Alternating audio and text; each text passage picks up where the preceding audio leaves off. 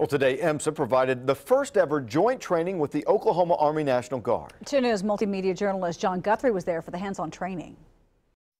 Make that cut, might have to make a couple of passes. This training is pivotal, really, because uh, airway is the most important thing that we deal with. Scott Williams, a paramedic instructor for EMSA, says that even if you've performed one of these procedures in real life situation, this training is very important. Uh, even though we work in the field and we, we take care of critical emergencies all the time, these types of situations don't occur very often. In wartime or peace, there are many different types of trauma that might call for someone's airway to be cleared. That someone takes a serious trauma to the face, maybe a gunshot wound or an explosion, something that damages the airway or causes so much swelling that we can't put a tube through the mouth like we normally do, that puts us in a situation where we have to do a surgical airway. And to help simulate the different scenarios where this might happen, EMSA turns the lights there out. There you go. Good, good grip on that. It helps keeps the skills. I mean, like I said, all the medical skills we do are a perishable skill. Um, and so for a lot of the soldiers who have normal jobs um, and don't work in the medical field every day, this gives them the training they need.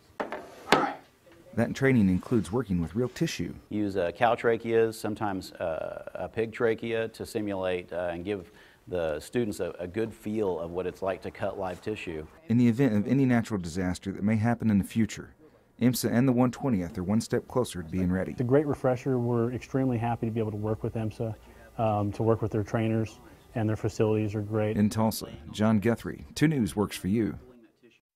All right, thank you, John.